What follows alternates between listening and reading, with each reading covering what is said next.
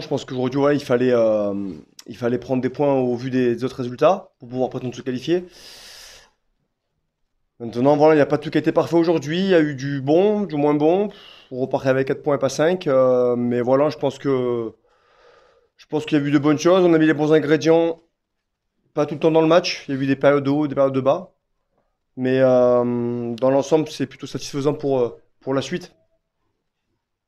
C'était un peu inévitable, ces approximations avec euh, les rotations, le manque d'automatisme, un peu.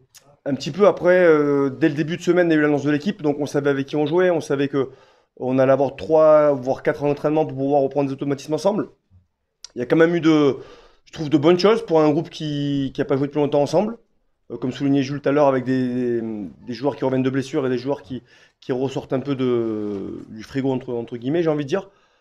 Donc voilà, ça, ce qui est cool sur ce genre de match, c'est que ça va remettre tout le monde en concurrence pour la fin de saison. On a de grosses échéances qui arrivent, donc automatiquement, ben, on a besoin de tout le monde. Et aujourd'hui, ben, il y, a quelques mecs qui ont fait preuve de, de caractère et qui ont montré qu'on pouvait compter sur eux. On peut compter sur toi aussi, euh, Jérôme Tu as vu un peu partout euh, les postes là, Ouais, j'ai fait un peu ce que j'ai pu aujourd'hui. C'était pas, c'était pas terrible sur certains points. Je sais que voilà, j'ai dépanné un peu l'arrière pas très longtemps. Après, on dit à la fin, on doit jouer un bonus et euh, l'organisation offensive était moyenne. Manquait un peu de fraîcheur aussi, mais voilà, comme je l'ai dit, il y a eu du bon, il y a eu du moins bon.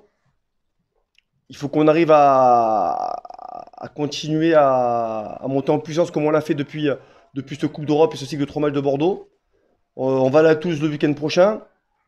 Il y aura le quart qui va arriver. Donc voilà, il y a encore de, gros matchs. Et comme j'ai dit, le plus important, c'est d'avoir euh, remobilisé tout le monde aujourd'hui. Des mecs qui, n'avaient pas joué depuis longtemps. Et c'est plutôt cool pour, euh, pour le groupe.